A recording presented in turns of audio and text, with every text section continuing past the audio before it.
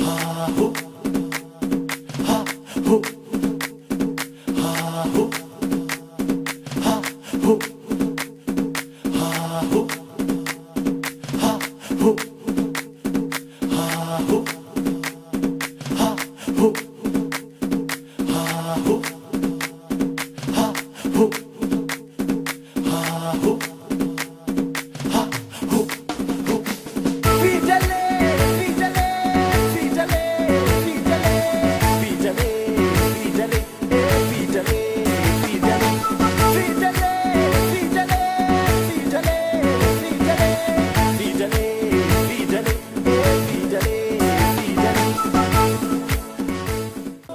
ሞፈርና ቀንበር አዋደው የቡልጋን ምድር እያረሱ ኑሯቸውን የሚገፉት መምህር ገብረ ሥላሴ ቢልልኝ ከጠንካራ አርሶ አደርነታቸው ጎን ለጎን በአንድ በኩል በአክርሚት ሚካኤል በመምህርነት ሲያገለግሉ ይቆዩና ባለቻቸው ቀሪ ጊዜ ደግሞ ሥራ ስር እየማሱ ቆዳ እያለሰለሱ ለቤተ ክርስቲያኒቱ የሚሆኑ ልዩ ልዩ የጸሎትና የትምህርት መጻሕፍት በማዘጋጀት ይጠመዳሉ።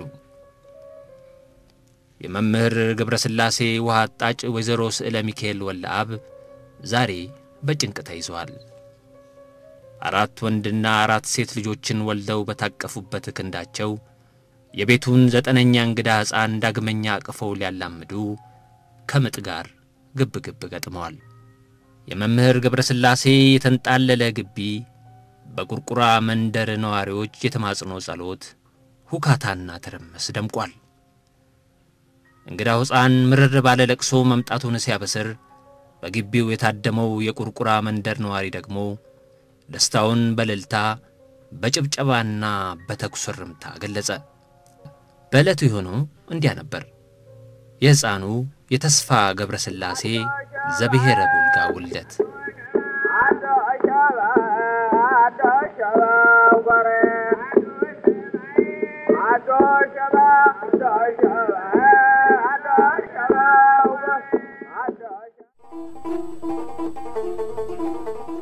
የአራት ዓመቱ ተስፋ በሰንሰለታማው የቡልጋ ተራራ ዙሪያውን ተከቦ ከዕድሜ የጠገቡ የቁርቁራ ዛፍ ስር ሰርክ ቁጭ እያለ ከከብት ጥበቃው ጎን ለጎን አባቱ አዘጋጅተው የሰጡትን ፊደል እየመላለሰ ይቆጥራል።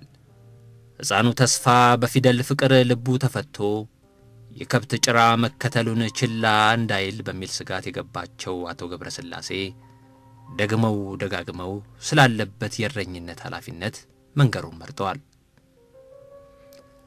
ለምክንያት ምክንያት አለው እንዲሉ የሕፃኑን ብልጣብልጥነትና አስተዋይነት በቅጡ የተረዱት አያቱ መምሬ ቢልልኝ ጊዜ ጠብቀው ስድስት ዓመት ሲሞላው ተመራመር ይገኛል ቁም ነገር ብለው አክርሚት ሚካኤል ግቢ ውስጥ አነስተኛ ጎጆ ቀልሰው የመንደሪቷን ልጆች ሰብስበው ከሚያስተምሩትና የእናቱ አባት ያለቃ ወልዳብ ተማሪ ከነበሩት ከመምህር ገብረአብ ወልደ ተክሌ ጋር ጠጋ ብሎ አእምሮን ይሞርድ ዘንድ ይልኩታል።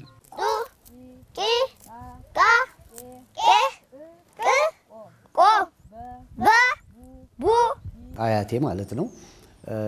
በዛን ዘመን እዛች ቁርቁራ ስር ቁጭ ብለው ለአክርቢት ሚካኤል ቤተ ክርስቲያን የሚሆን መጽሐፎች በብራና ቀለም ከእጽዋት ቀምመው ይጽፉ ነበረ።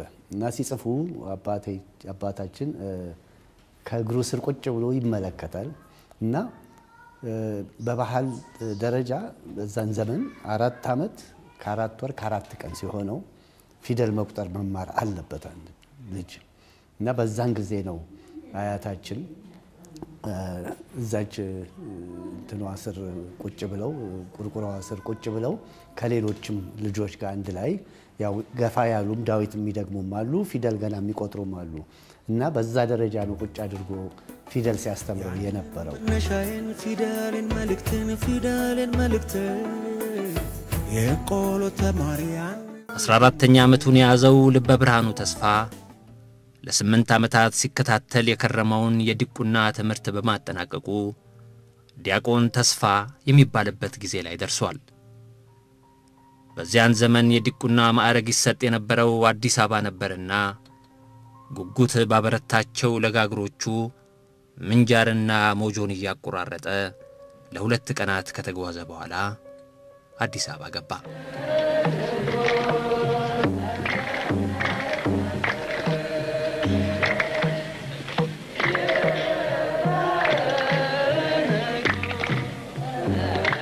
አራት ኪሎ ከሚገኘውና ቀደም ባለው ጊዜ መካነ ሥላሴ አሁን ላይ ደግሞ ባለ ወልድ ተብሎ ከሚጠራው ቤተ ክርስቲያን እንደደረሰም የሸዋ ሊቀ ጳጳስ ከነበሩት ከአቡነ ማቴዎስ እጅ ቡራኬውንና የድቁና ማዕረጉን የተቀበለው ዲያቆን ተስፋ ከላይ ታች እያለ ወደ በረቀባት ሃሁ ብሎ አንደበቱን ወደ ሳለባት ወደ አክርሚት የመመለስ ሐሳቡን ገታ ማድረጉን መረጠ።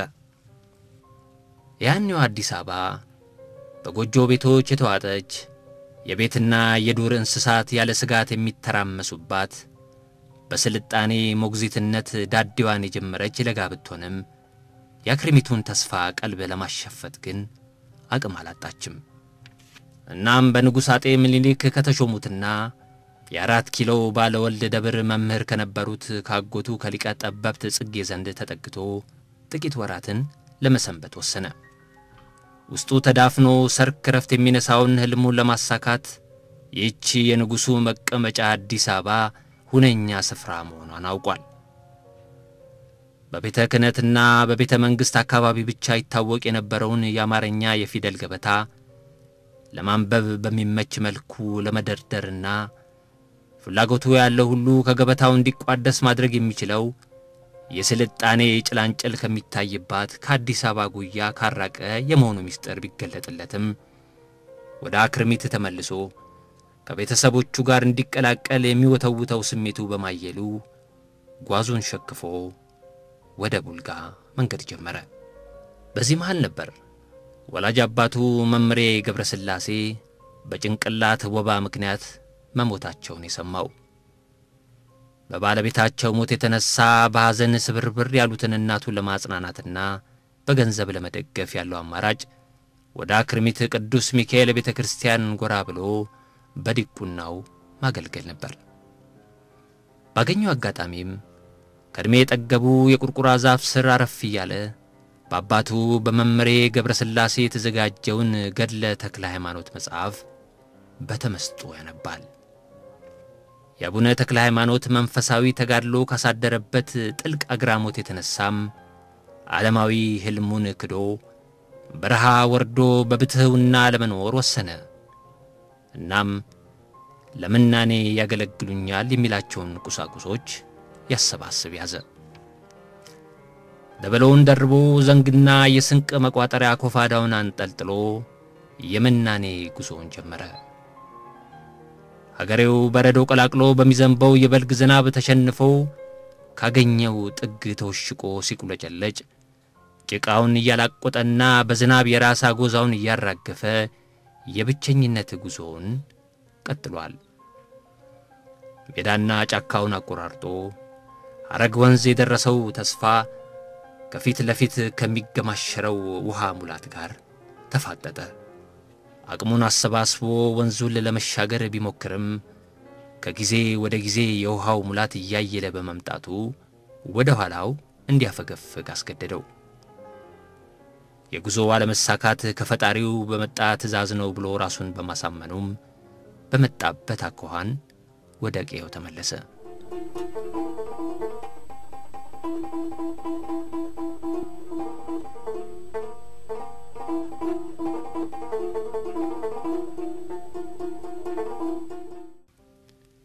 በዚህ ሁኔታ ጥቂት ወራት አለፉ። ምናኔን የናፈቀችው የተስፋ ነፍስም ለዳግመኛ የበረሃ ጉዞ ተዘጋጀች። ጉዞ ተጀመረ። ፀሐይዋ ያለ ስስት ቁልቁል የምትለቀው ሙቀት እንኳንስ ለበረሃ አቋራጭ መንገደኛ ከወዲህ ወዲያ ለሚንጠራወዘው መንደረተኛም የሚቻል አልሆነም። ያኔ በውሃ ሙላት ዛሬ ላይ ደግሞ በፀሐይ ሐሩር ክፉኛ የተፈተነው ተስፋ ጽናትን ከፈጣሪው እየለመነና ድካሙን እያባበለ ጥቂት እንደተጓዘ የሰውነቱ ዝለት በማየሉ አጠገቡ ወደምትገኝ ዛፍ ስር አረፍ ብሎ አቅሙን ለመሰብሰብ ወሰነ። ድንጋይ ተንተርሶ ጋደም ከማለቱ ጭልጥ ያለ እንቅልፍ ይዞት ሄደ።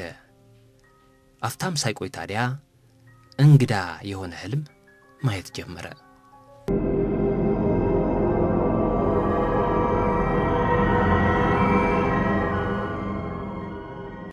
እንግዲህ ከልጅነቱ ያደገበት የተማረበት ቤተ ክርስቲያን ያገለግለው የነበረው ሚካኤል በህልም እንደመጣ እና በህልም መጥቶ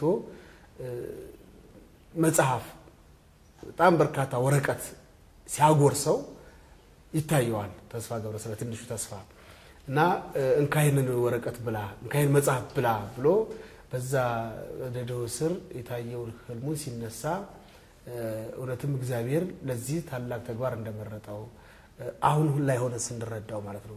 እናም የራሱን ሕልም በራሱ ፈቶ ለብትህትና የቆረጠ ልቡን አባብሎ ከዚህ ቀደም መለስ ቀለስ ብሎ የቃኛትንና የዲቁና ማዕረግ ያገኘባትን ያኔዋን አዲስ አበባ በተለይ ደግሞ አራት ኪሎን ይናፍቅ ጀመር።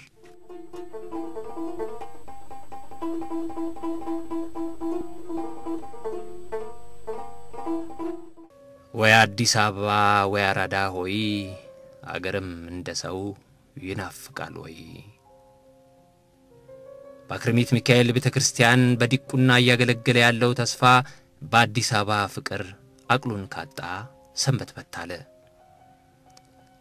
አላስቆም አላስቀምጥ ብላ ረፍት ወደ ነሳችው ወደ አዲስ አበባ ቢያቀና ገና ሕፃን ሳለ አባቱ መምሬ ገብረ ሥላሴ ያዘጋጁት የነበረውን የጸሎት መጻሕፍትን የማባዛት ሥራን ከትውልድ አገሩ ከቡልጋ በተሻለ ሁኔታ መሥራት እንደሚችል ያልማል።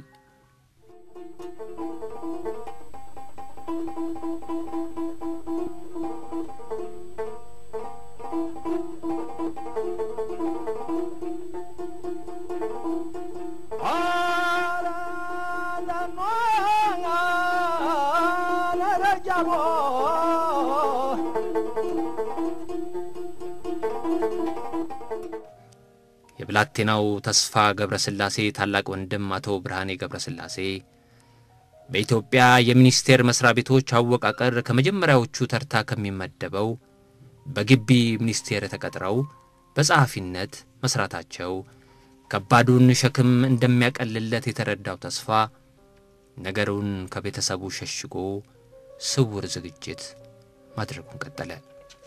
በዚያን ወቅት ታዲያ በተለያዩ የኢትዮጵያ ክፍላት አገራት የሚገኙ ገበሬዎች ግብር የሚከፍሉት አዲስ አበባ ድረስ ተጉዘው ነበርና የቡልጋ ገበሬ ግብሩን ሊገብር የሚዘጋጅበትን ጊዜ ይጠባበቅ የነበረው ተስፋ የዛሬዋ ዕለት ልታልፈው አልፈቀደም። የቡልጋ ገበሬዎች ላስጨራሹን የቡልጋን ቆላማና ተራራማ መልክዓ ምድር ያለመታከት እያቆራረጡ የከሰምን ወንዝ ተሻግረው ወደ ምንጃር አረርቲ መገስገሱን ተያይዘውታል። በነገም ሌላ ቀን ነው ተስፋ ጀግኖ ተነስ እንሂድ እያለ የሚወተውተውን ልቡን ያስታግስበትን ቀን ናፋቂው መንገደኛ የቡልጋ ገበሬዎችን ከኋላ ኋላ በድብቅ እየተከታተለ ወደ ምንጃር መገስገሱን ቀጥሏል። ከሰምን እስኪሻገሩ በገበሬዎቹ እይታ ውስጥ ያልገባው ብላቴናው መንገደኛ ተስፋ ከአንድ አዛውንት ገበሬ ጋር ፊት ለፊት ተፋጠጡ። አዛውንቱ ገበሬ የብላቴናውን መንገደኛ ማንነትና ቤተሰብ ጠንቅቀው ያውቁ ነበርና ለምን እንዲህ አይነቱን ምርጫ ልቡ እንደፈቀደ ጠየቁት። አዲስ አበባ ወዳለው ታላቅ ወንድሜ ጋር ሄጄ መካነ ሥላሴ ቤተ ክርስቲያን በዲቁና ላገለግል ፍላጎቴ ነው ሲል ለአዛውንቱ መለሰላቸው። ምላሹ አላጠግብ ያላቸው አዛውንት ሌሎቹን መንገደኞች አስተባብረው ብላቴናውን ተስፋ በቁጣና በተግሳጽ ወደ ቀዬው እንዲመለስ ትእዛዝ ሰጥተው ጉዞአቸውን ዳግመኛ ቀጠሉ። የአዲስ አበባ ናፍቆትና ሊሠራ ያሰበውን ታላቅ ሥራ በድል አድራጊነት ሲወጣ በምናቡ እየሳለ የከረመው መንገደኛው ተስፋ ለጊዜው ከእይታ ሰወር ካለ በኋላ ዳግመኛ ከገበሬዎቹ ኋላ ኋላ እየተከተለ ሞጆ ገባ። ሞጆ ድረስ ተከትሏቸው የመጣውን ብላቴና የተመለከቱት መንገደኞች ማምረሩን ተረድተው ኑሮ አብሯቸው እንዲጓዝና ባደራ ለወንድሙ እንዲያስረክቡት ተስማሙ። እናም 185 ኪሎ ሜትሩን ያለመታከት ያገባደደው ተስፋ በሁለተኛው ቀን አዲስ አበባ ገባ። 1909 ወርሃ ሚያዝያ ተስፋና አዲስ አበባ ዳግመኛ አይን ላይ ሊተያዩ በቁ።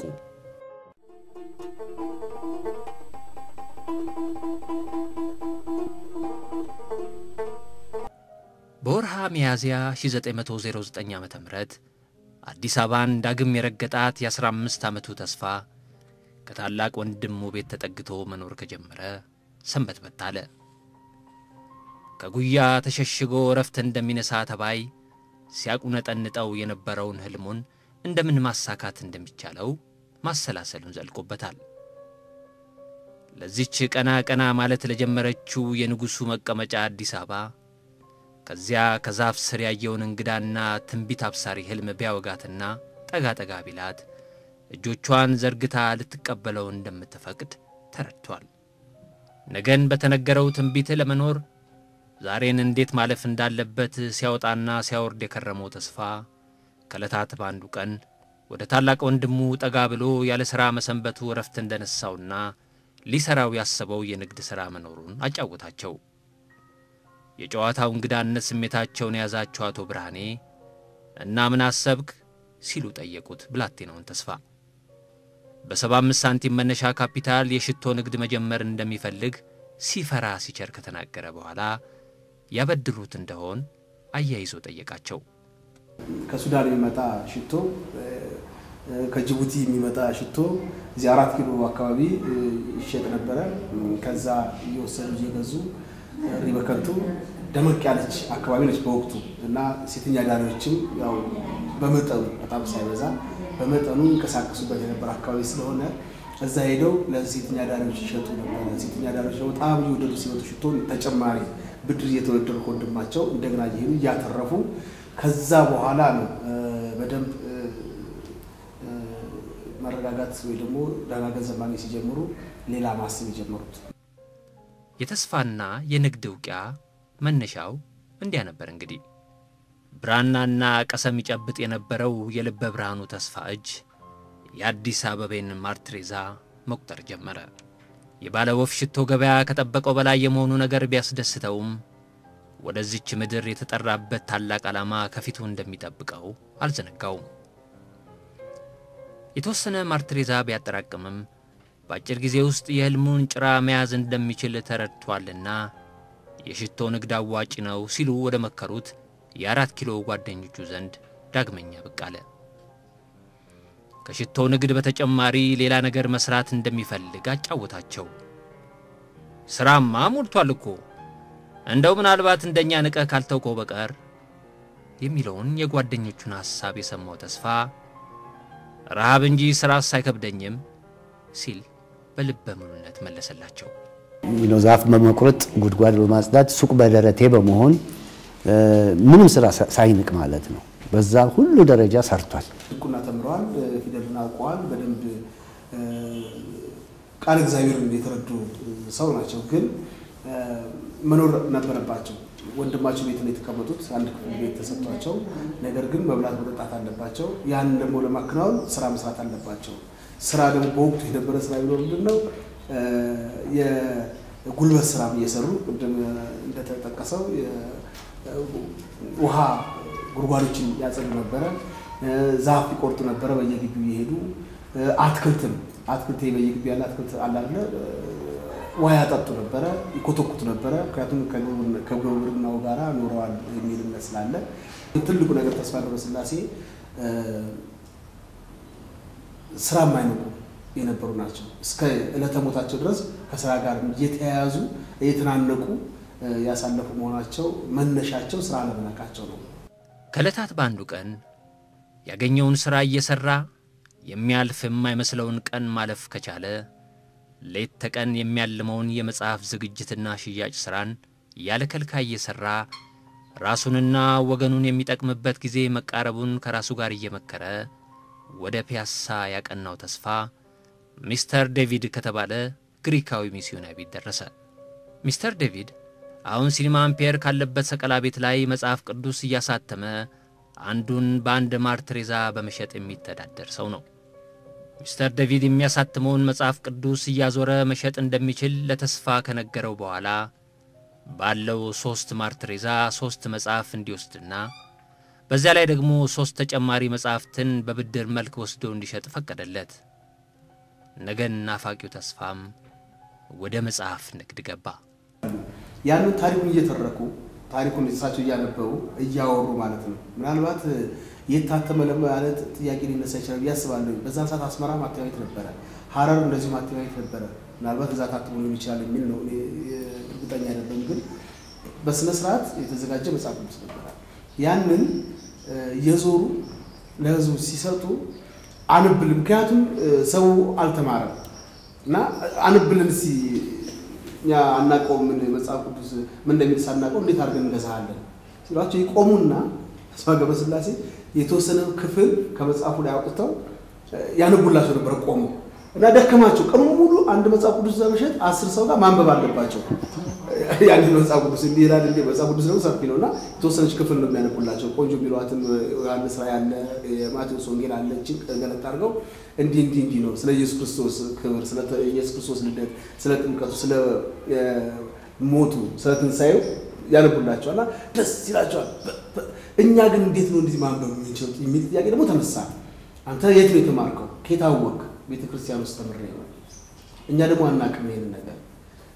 ይሄ ጥያቄ ጭንቅላታቸው ውስጥ በጣም ከባድ የሆነ ደወል ነው የደወለባቸው። እና ስለዚህ ብንገዛ ዋጋ የለውም። አዎ ብንገዛ ጥቅም የለውም። ካላወቅ ነው ምናለው አንተን በየቀኑ እየጠራን ታነብልን ነው ወይ አንተን የምንግዛ አዎ ወይ አንተን አብረን እንግዛ እና መጽሐፉን አንድ ጋራ አንተን መጽሐፉን አብራችሁን እዚሁ አገልግሉን ብሎ ሲሏቸው ተስፋ ገብረስላሴ ያው በተቻለ መጠን እያነበቡ በመጠኑ እያስረዱ ይሸጡላቸው ነበር። በይበልጥ ግን የነበረው ቤተ መንግስቱ አካባቢ ያሉ ትንሽ ትንሽ እንዲሁ ፊደል ያንቧል የተባለው ህብረተሰብ ነበርና ሲመለሱ ሚስተር ዴቪድ ምን አላቸው?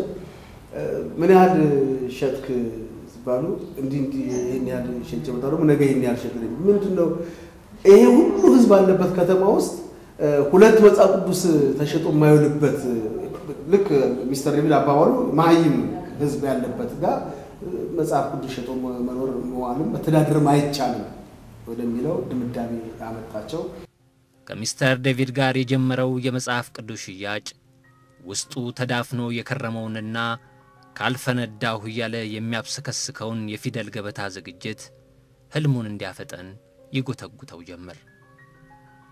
አገሬው መጽሐፍ የማንበብ አንብቦም የመረዳት ፍላጎት ያለው ቢሆንም ፊደል የመቁጠር ዕድል አልገጠመውምና ከመቆጨት ባለፈ ሊያደርግ የሚችለው ምንም ነገር አለመኖሩን የተረዳው ተስፋ ሌላው ቢቀር እሱ ያወቀውን የማሳወቅ የተረዳውንም የማስረዳት ኃላፊነት በእሱ ላይ መውደቁን በሚገባ ተረድቷል። የህዝቡ አለማንበብ መፍትሄው ምንድን ነው ብሎ ሲደመድም እሱ ፊደልን መቁጠር ነው። ሀሁን እስከ ፐ አቦጊዳን ከተማርክ በኋላ ወደ መልእክተ ስትሄድ ሌላ መጽሐፍ ማንበብ ትችላለና በር ከፋች እሱ መሆኑን በመረዳት ያቺ ቁጭት ነች ፊደልን የፊደል ገበታን ለመቅረጽ ያበረታታው። ታየኝ ልጅነቴ የጠርሙስ ቆሎ ከፊደል ገበታ እውቀት የመገቡኝ የኔታ ከቦጊዳ መልእክቴ ነፍሴን ሊያሰርቆ ተባተ ከዓለም ከብራናው አግባቡኝ ከእውቀት መናቸው መገቡኝ። አቤት የፊደሉ ገበታ አቤት የልጅነት ዝታ መጣ ድቅና ለከፊቴ እውቀት የመገቡኝ የኔታ አልበል እስኪ አሁ አልበል እስኪ አሁ። ጠርሙስ ቆሎ